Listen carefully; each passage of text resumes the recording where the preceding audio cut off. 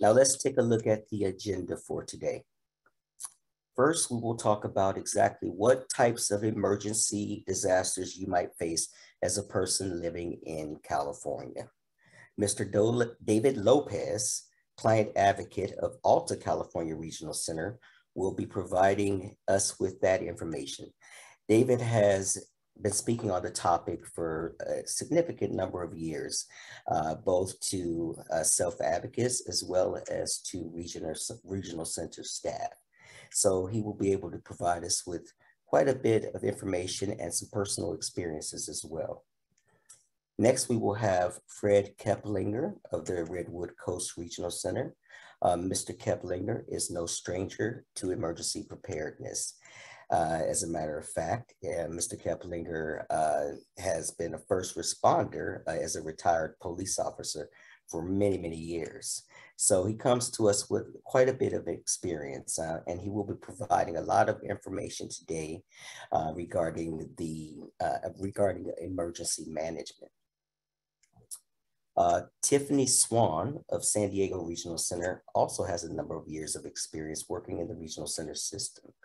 Uh, she has worked as a service coordinator and has had many opportunities to work alongside people um, receiving regional center services on uh, just exactly what types of steps to take to make sure they are prepared for an emergency.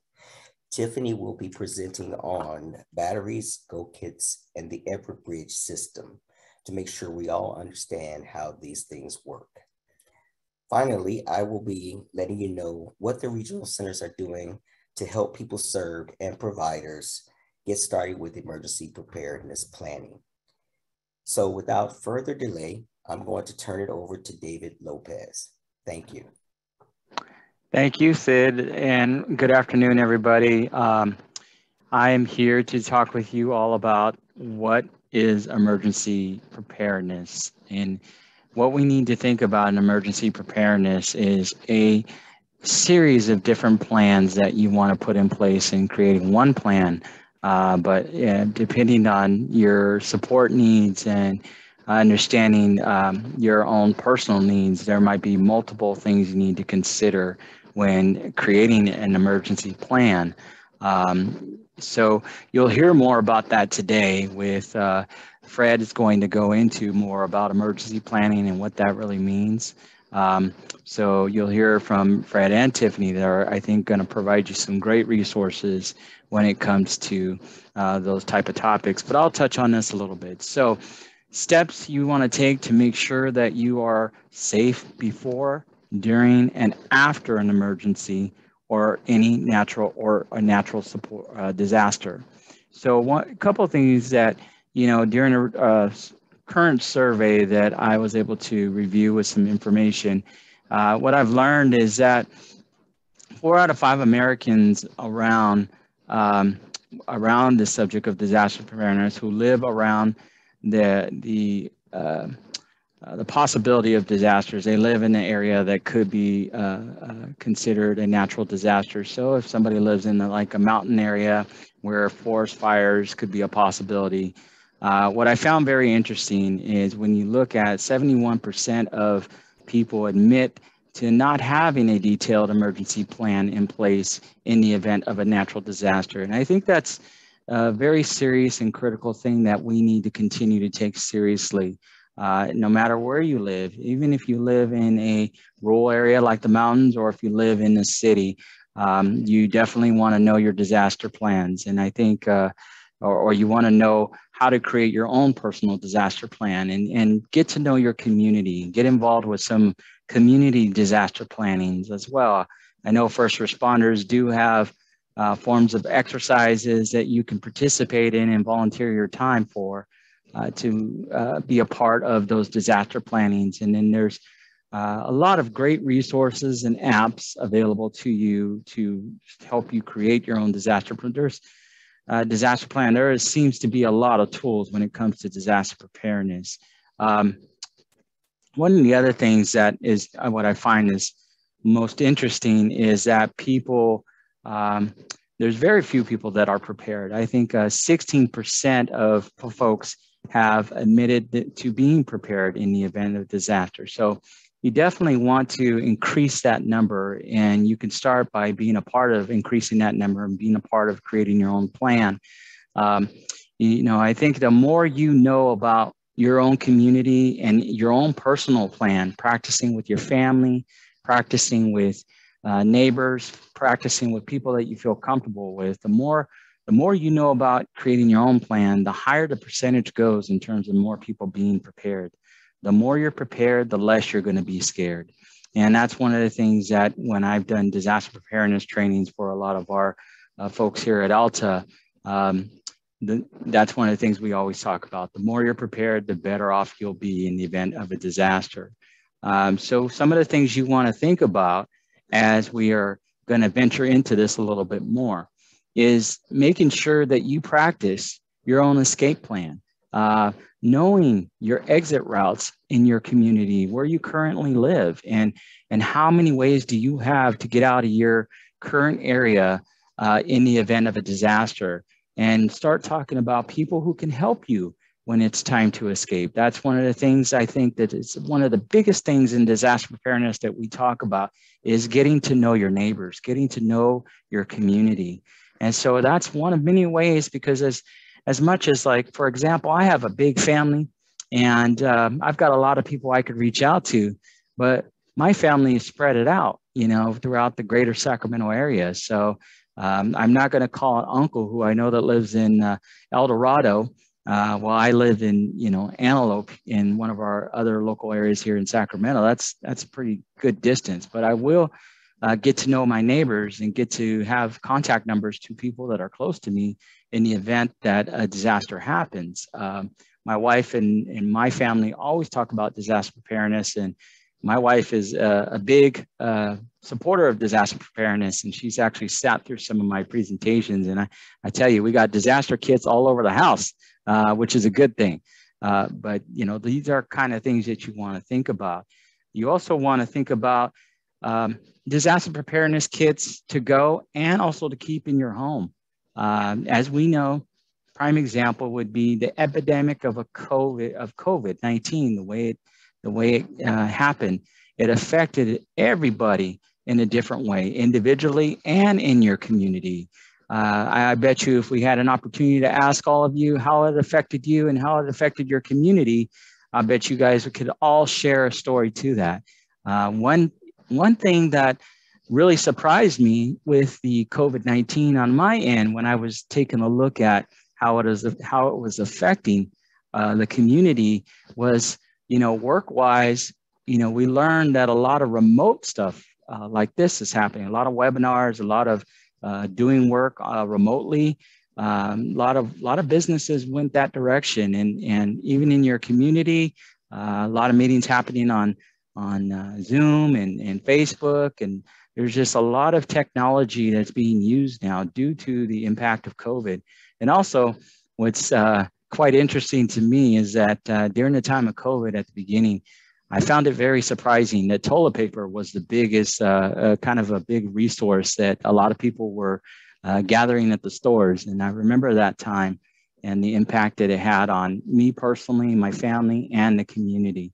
So these are things you want to think about. Um, you know, COVID was a big impact. So you definitely want to start creating not only disaster kits when you have to up and go, but you also want to think about creating them while you're in your home in the event that you couldn't leave your home, because not all disasters require you to leave the home. Some of them require you to be confined to your home. So you want to make sure you have all the different items you also want to make sure include that, make sure and include that into your plan. Include the discussions of the items that you need, where you're going to gather them, the people you're going to talk to, and who you're going to be contacting in the event of a disaster. For example, if you have to leave, one of the biggest things that we discuss is creating a list of numbers of close people that you can contact and let them know that you're safe and getting to know where your disaster centers are in case you have to leave your home and Maybe you live further away from an aunt and uncle or mom or dad that uh, you're in your own community and don't really have that much family or natural support around you, but you're going to a disaster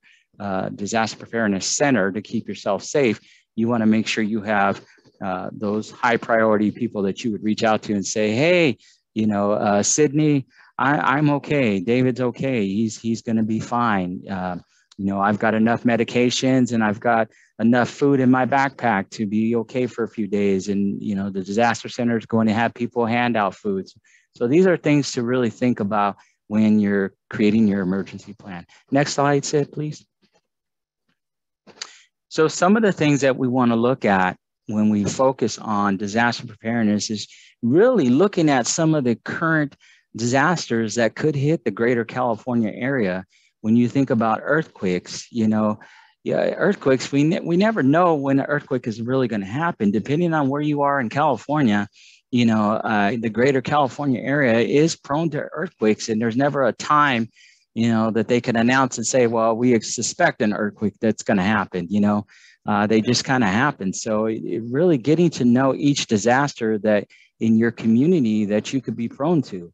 Earthquakes, I think practicing uh, safe um, uh, routines to stay under uh, solid um, foundations so that way when things start falling, nothing falls on you and that you're safe. Uh, how, learning how to, if you're in a wheelchair, learning how to lock your wheels um, in, in, some events of some disasters uh, so that you're not going to slide around or put your, you know, be slidden into some form of a danger. Uh, high winds, power outages. I think uh, California is very um, uh, prone to the power outages. I don't care if you live in Southern California or Northern California, uh, power outages can happen at any time and they can happen without even any warning. Uh, you know, we could be watching TV or we could be doing, you know, things on a daily basis and all of a sudden the power goes out. So we want to make sure we have things like flashlights and other things available to you. Uh, the pandemic and epidemic, uh, those are things that, you know, like COVID-19 is what I just talked about. Those are things where you want to make sure that you have essential items in your house in the event that you have to be confined in your home. Um, you know, and also with the other things like flooding, I know that California is really big on flooding in terms of uh, uh, when it rains a lot. And actually, when, in Sacramento here today, when I was coming to work, it actually did rain. And, uh, you know, the landslides and things like that could be an issue in the Sacramento area because we haven't had received rain in so long. And that's even in California.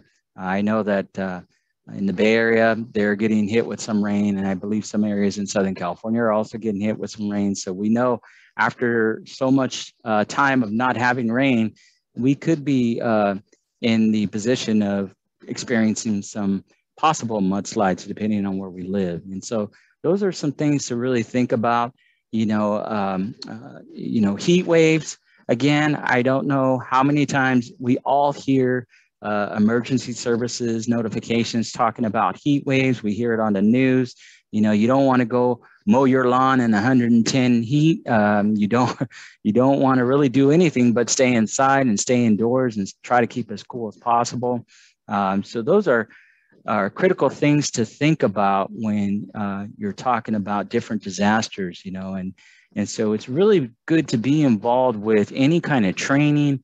Uh, you guys are all involved in today's webinar, which I think is awesome because it just shows the importance that I believe everybody has on their mind disaster preparedness. And I know that a lot of the information we will share that some of you are going to go share in your own communities. And this is really good to have uh, everybody involved here to talk about disaster preparedness. And so I'm going to hand it over to my next panelists and let them expand a little more on some of the things that we talked about just in these couple slides. So Sid, uh, if you'd like to pass it on to, I believe, uh, who's next, Fred? Thank you, David. Mm -hmm. um, unfortunately, due to an unforeseen immediate circumstance, uh, Mr. Keplinger is not able to join us. However, I will go uh, present his slides that um, actually uh, focus on the five steps of emergency management. The first step that we will be talking about today is prevention, avoiding a problem. Um, the best way to avoid a problem or prevent a problem is to try to plan, develop evac evacuation plans. Um, and as David has mentioned, evacuation plans uh, include um, the exit routes um, that you would want to um, use in case of a in, of an emergency, uh, and also um, alternate exit routes as well. So we encourage uh, individuals living in group living settings, uh, residential facilities, homes funded by regional centers and providers to develop plans to evacuate the home uh, as soon as possible. Um, and again, to um, also develop backup plans. Um, and those come in very handy. For example, if there is structural damage or damage to the home, and you've always planned to go out of the sliding glass door uh, connected to the living room, but uh, this particular event involved uh, a barrier blocking that exit. So it's good to have a different alternate route and to have practiced that plan uh, numerous times. And I think the recommendation that I've seen is at least once every six months, practice the plan, practice the alternate routes, practice um, as much as possible. Um, but again, at least every six months to try to make sure that it comes to you naturally during an event. And the more you practice, the less nervous you will be uh, when an actual event does occur or if an actual event does occur. occur. Um, so for residential providers, um, you know, it's uh, important to work with your staff um, to work on training people and how to get out of the house um, and trainings on how to lead people to safety. Um, for individuals living with family or independently. As David has mentioned, you know, getting to know your neighbors, um, you know, being able to develop some relationships um, with neighbors, with people close by, because relatives may not be um, in the immediate area. So it's it's really good to be able to have people that can um, that can step in and assist you or can check on you in case of an emergency. Um, the Regional Center Emergency Coordinators have been working with counties uh, on em emergency operations plans and hazard mitigation plans. And we'll talk a little bit more uh, towards the end of the webinar here about the Regional Center Emergency Coordinators and the great work that they're doing. Uh, but they have um, been working on a larger scale in, you know, ensuring that the counties are aware of people with developmental disabilities and the needs in regards to emergency preparedness. So the next step of the five steps that I like to talk about today is mitigation, reducing the chances um, to reduce the chance of an emergency happening or reduce the damaging effects of unavoidable emergency. So mitigation basically has to do with, for example, if there is um, a lot of debris or trees um, that could be um, dangerous uh, because of the way that they're um, creeping up on the home or in the territory, the yard, or whatever the case may be. Um, clearing those trees away from the house, uh, that's mitigation. That's, you know, creating an environment uh, to make a disaster less bad. Um, and so that's really what mitigation has, you know, really uh, has um, the, the whole purpose of mitigation is you can't always prevent any an emergency. Um, you can't always pre prevent a disaster, um, as we know. Um, but if um, you know, if we're taking the right steps to make sure that um, that, for example, with flooding, uh, to make sure that um, the lines, uh, water lines, are you know secure and taken care of, things of that nature could be really, really helpful in regards to mitigation. Preparedness, getting ready. Um, you know, actually uh, something that I learned recently uh, while preparing for uh, this webinar is, you know, local law enforcement stations and fire departments um, have practices and plans in place um, when they're notified of individual special circumstances.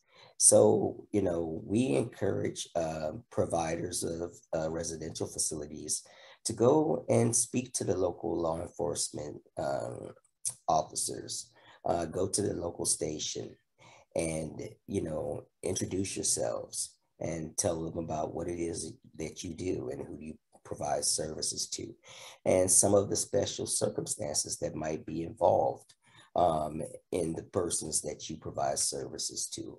Um, so what they uh, often do is they note these, uh, note this important information, keep it on hand, and then when, if there's a call or a situation, uh, these individuals will be able to have access to that important information um, when they are in your area or when called out to, um, to support you.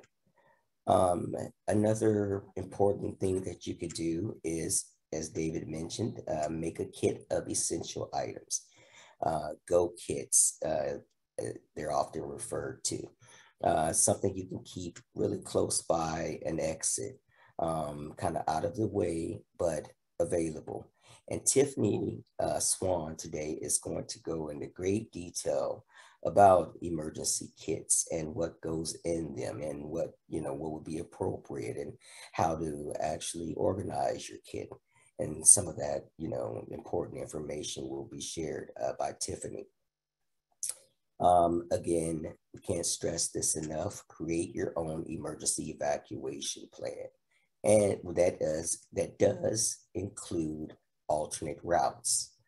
Um, and uh, one other thing that is also considered, uh, you know, when we talk about evacuation plans, there's also, you know, shelter in place um, type of plans that need to be um, developed and created as well, so that you know that you have, if you're actually in a situation where you do not have to evacuate, you're actually called on to um, shelter in place, that you have the necessary things that you need for two to three days, uh, you know, of sheltering in place.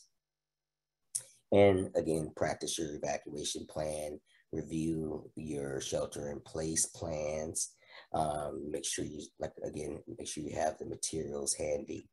Those are all things you could do to get prepared for a, an emergency. The fourth of the five steps of emergency management has to do re with response right after emergency.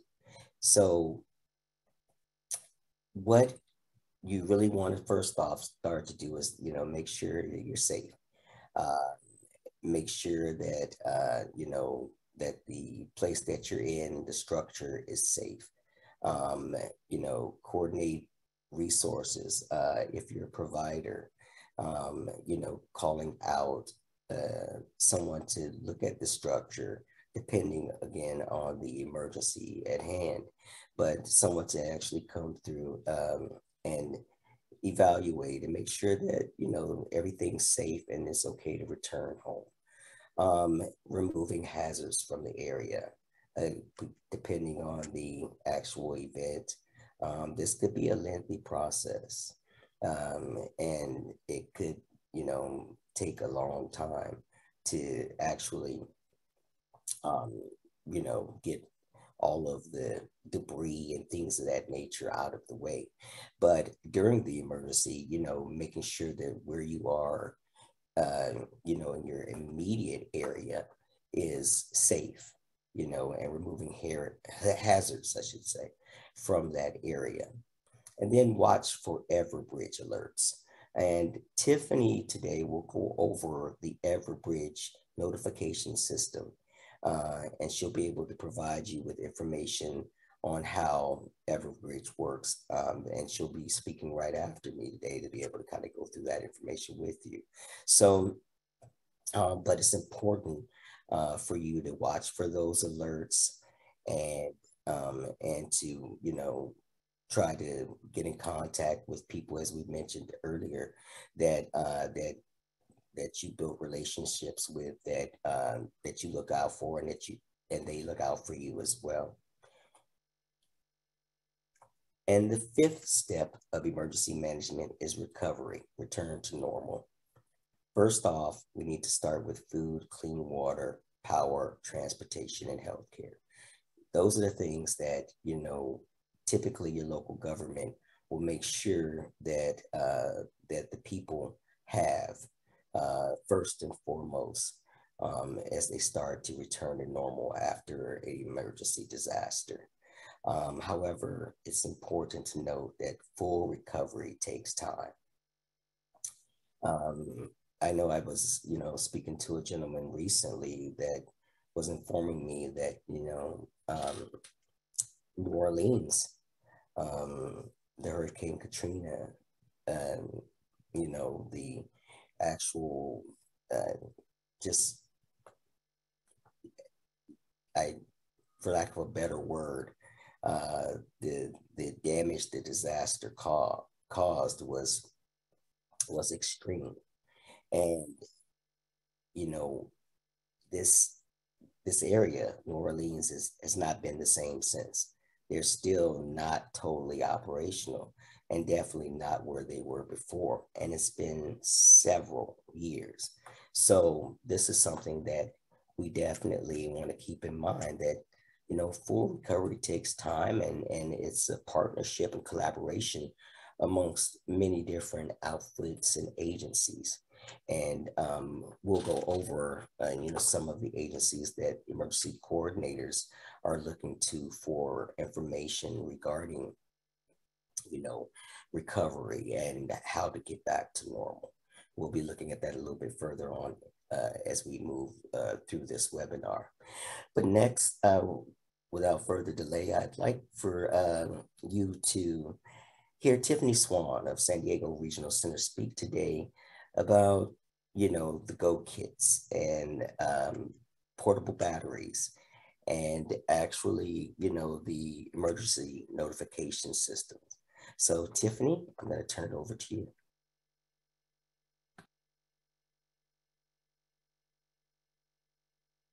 All right. Hi, everybody. I think my camera is going to be coming on in just a second. You guys can see what I'm working on.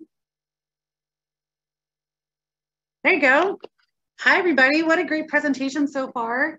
Um, so what um, I do is I am one of the emergency management coordinators um, that each of the regional centers have on staff. And we work on different initiatives um, for our clients, for our vendors, um, and also for our staff here on campus. So the first thing that one of the first initiatives that we're working on are emergency go bags. These go kits are for individuals served by San Diego, or I'm sorry, by the regional centers residing in independent and supportive living situations that are located in high fire areas. So the way that the state separates them are areas, it's called a tier two or a tier three are these high fire areas. So regional center emergency management coordinators are responsible for outreach to eligible individuals to attend a one hour emergency preparedness training um, conducted by Disability Rights of California and as of August um, th this year, we've had 112 participants attend the training. Most of them have gotten their bags as well. So the red duffel bag is on wheels. I'm gonna show you it in just a second.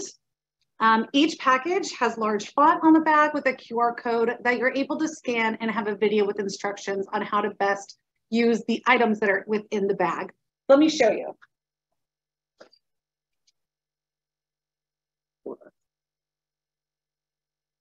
see if I have this. So this is the bag itself. It's a pretty large bag. It has wheels on one side because we know that it's pretty heavy to pick up. So there's wheels on one side, and then there's a handle.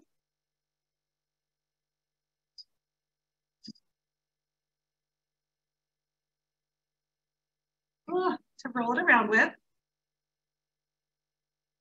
Inside the large part of the bag, you have a fire blanket. This is used for either um, heat to keep you warm, or you can throw it on the top of a fire to smother a fire if it's a very small fire. A large fire, make sure that you get out. Don't try to put out that fire yourself. Also inside here are these packages that I was telling you about. Sorry, there's a glare on the screen. So this one says personal hygiene. So it's gonna tell you in large font what is in each one of these um, bags. And then there's a QR code. Sorry for the glare. There's a QR code right here. You scan the QR code and a video will pop up to tell you all about how to use these items. So this one's for personal hygiene. We have lights. Um, this is a flashlight, a radio, a charger, a glow stick, a candle. Um, this one's tools and first aid kits. So it talks about a first aid kit, a rope and a multi-tool, a whistle and a compass, gloves and goggles, a pencil and paper, and a sewing kit. And again, each of these have that QR code on them, so it's gonna tell you how to use the items.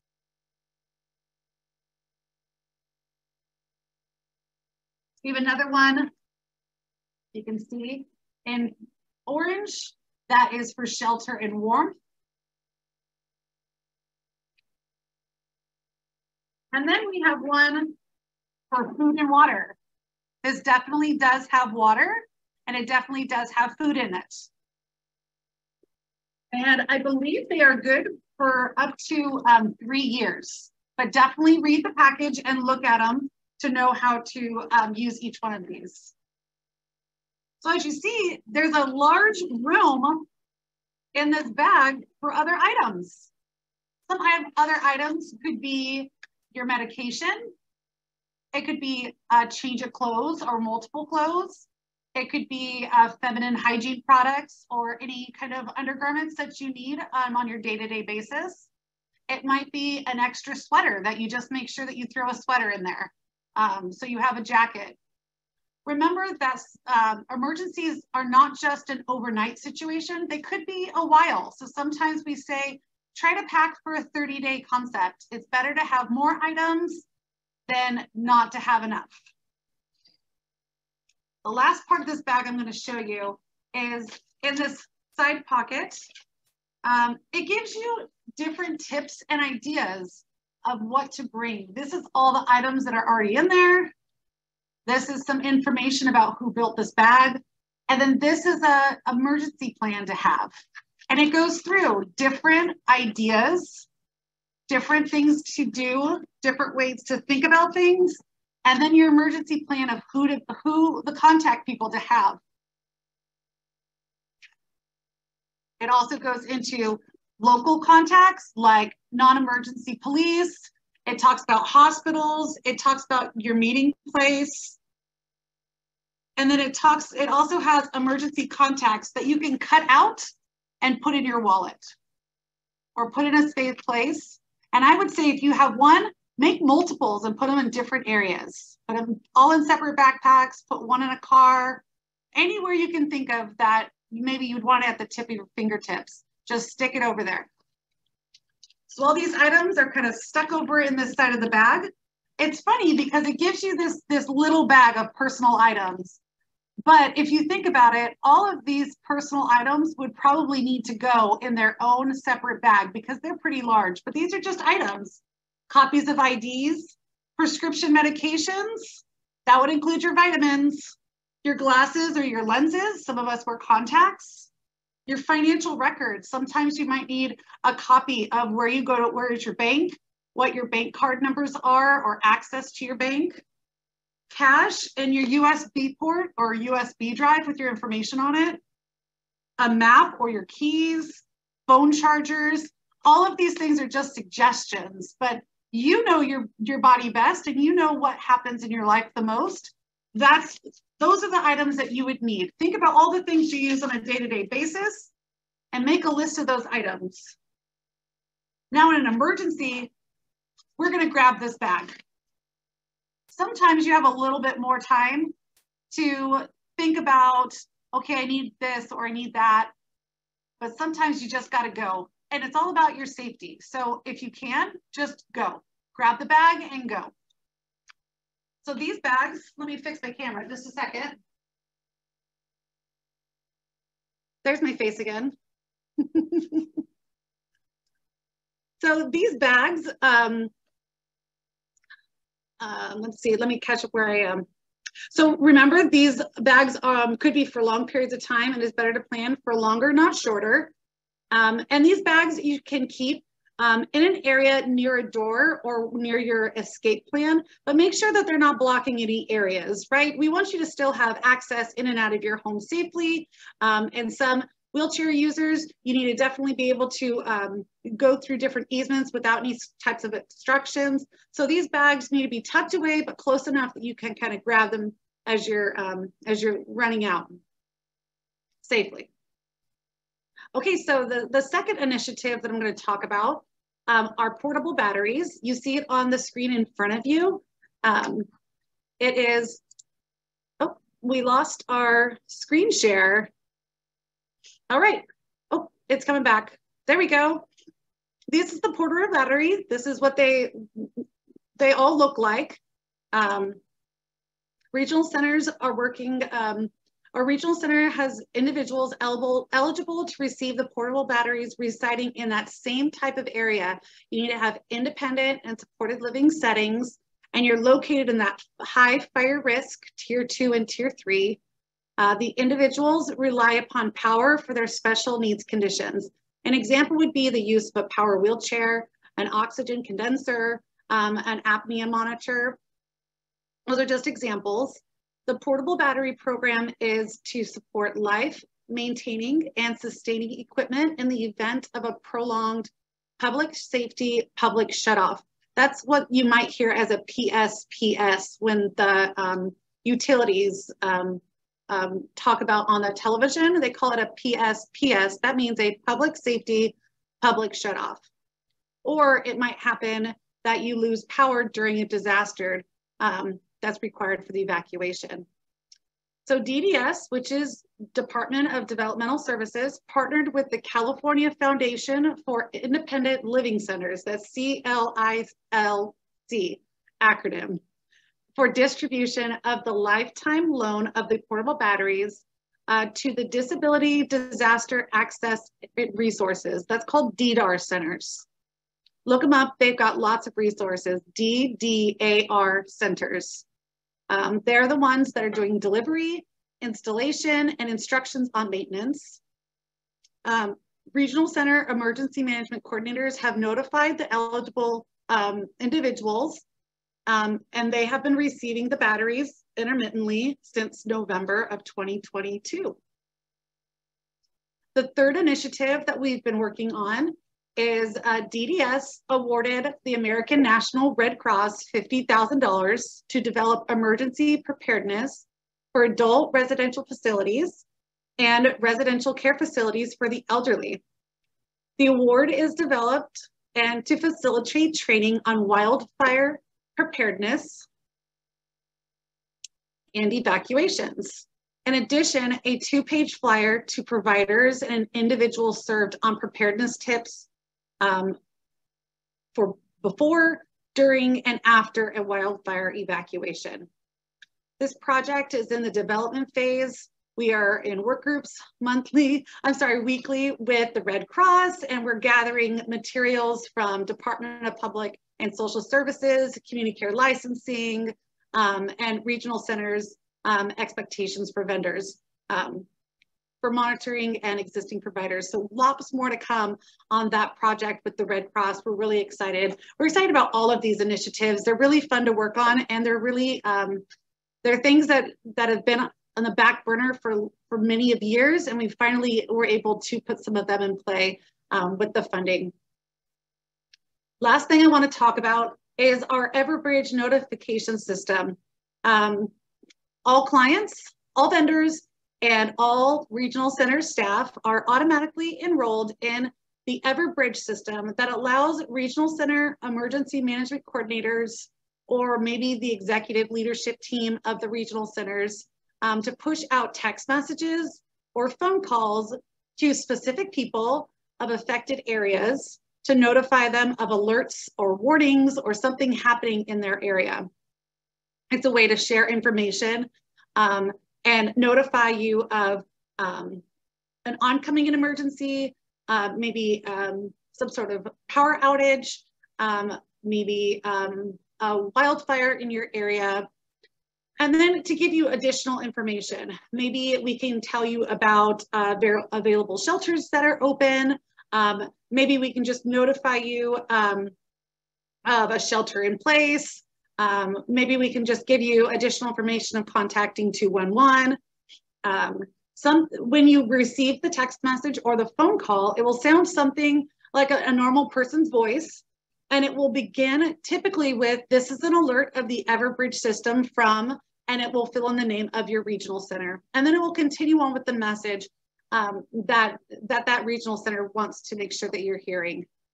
Please listen to the whole message. And at the end, they're gonna ask you to respond. Sometimes it's press one for yes, or um, just, just say yes, you've received the message, because that information comes back to us and it lets us know that you guys are aware that this is going on.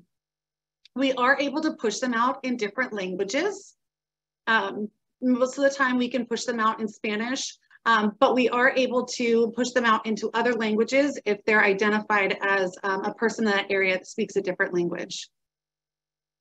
So all of these, um, these um, um, activities that we're involved with are, are very fun. They're, they're great different um, ideas that have just been bounced around the uh, regional centers and we are very excited to keep these going.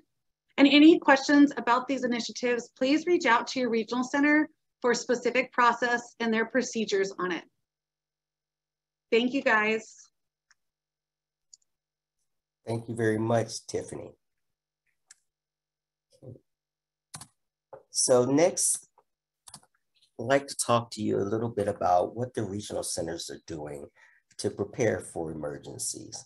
Uh, but before we really dive into that work, I think it's important to uh, understand exactly how regional centers work. Um, and for some, this may be new information. For others, it may be a refresher. So, but real quick, uh, just a basic understanding of regional centers. So there are 21 nonprofit regional centers throughout the state of California um, and they are represented by the Association of Regional Center Agencies, ARCA, in which I'm employed. Um, and the ARCA board is made up of 21 executive directors of the 21 regional centers, as well as the 21 board president, presidents. So that means it's a 42 member board. Uh, regional centers receive funding from the state of California through the Department of Developmental Services. The money regional centers receive is considered a contract allocation or budget. Um, regional centers are responsible for ensuring that the approximately 400,000 people served are, are leading independent and productive lives and are making choices and decisions about their lives. Um, so during the fiscal year 20 and 21, California budget, the California budget included 21 positions to address uh, emergency preparedness uh, for the regional center. So that would be one position per regional center. And these are, uh, the title of the position is the emergency coordinator. Um, last fiscal year in 21-22, uh, the state allocated $4.3 million to uh, for, preparation efforts. Basically, um, they would like the funding to support the feeling safe and being safe emergency preparedness information materials that are located on the developmental uh, Department of Developmental Services website. uh, provide training and education to regional center emergency coordinators on how to prepare and respond during emergency situations, provides individuals living independently or with limited supports with emergency go kits, and enables the purchase of backup batteries and generators for individuals who are dependent on life-sustaining equipment. So those are the initiatives that Tiffany just spoke of. So during an emergency, uh, the 21 emergency coordinators are provide are required to provide notifications and updates to uh, the people served as well as to the Department of Developmental Services. Uh, they're also responsible for uh, um, identifying closures and loss of services, uh, identifying, addressing unmet needs of the individuals served in that area, uh, securing emergency supplies, as well as coordinating um, with the Department of Developmental Services and other regional centers on the actual uh, event and being able to maintain and pull people together, maintain safety and pull people together and support them as they go through those, uh, you know, go through recovery um, after the event. Aside from the immediate emergency response, um, the emergency coordinators also support ongoing recovery efforts, specifically assisting individuals returning home, uh, providing information on available resources such as FEMA assistance, uh, temporary housing, replacement of medical equipment, and educating counties on regional center roles in de developing emergency plans with counties and neighboring regional centers. Now, to highlight some of the work that the emergency coordinators have been doing here recently, um, I'd like to kind of just tell you a little bit about this very zealous, very experienced group of 21 coordinators. Um, they are in the process of uh, developing a resource library for that pretty much would cover uh, the entire state. Um, and they're using apps such as uh, the state parks apps, disaster alerts apps, Watch Duty, FEMA again, Zello, and American Red Cross as well. Um, and as Tiffany has mentioned, they are the coordinators are also um, collaborating collaborating with the American Red Cross in developing materials for residential facilities uh, at this time. Um, then there's also projects that the um, the emergency coordinators are doing, which um, they are collaborating with uh, community care licensing, the Department of Public and Social Services to ensure all emergency preparedness requirements are considered when developing materials. So there's a lot of checks and balances. Uh, in addition to that, uh, regional centers are working diligently on um, getting that materials, the Go Kits out to individuals that qualify. Um, and also working, as Tiffany has mentioned, with the Disability Rights California agency on um, the trainings and collaborating on trainings and getting individuals in there uh, to receive their Go Kits and receive the training on how to uh, prepare for an emergency disaster. Um, in regards to the uh, batteries, uh, as Tiffany has previously mentioned, they're working with the CFILC on making sure individuals that qualify um, receive one of the 450 batteries available uh, statewide um, though, for those that qualify. So another current project um, referenced by Tiffany uh, regarding power shutoffs, the PS, um, basically is uh, where the emergency coordinators are um, working collaboratively um, and beginning to work uh, collaboratively with the um, the California Commission, um, California Public Utilities Commission, excuse me, um, to ensure that the individuals that receive regional center services that qualify or should qualify for the program um, that they have in place regarding, um, excuse me, uh, the medical baseline uh, program, which would ensure that the issues related to uh, those individuals are highly considered uh, when there is plans for the power shutoffs.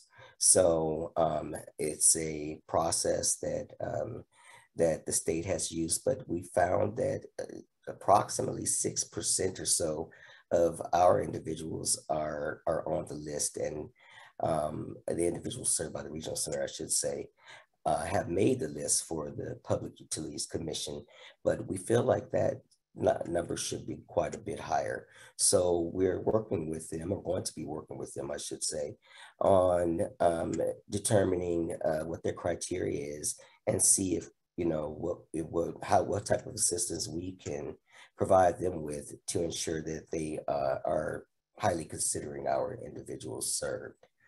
Um,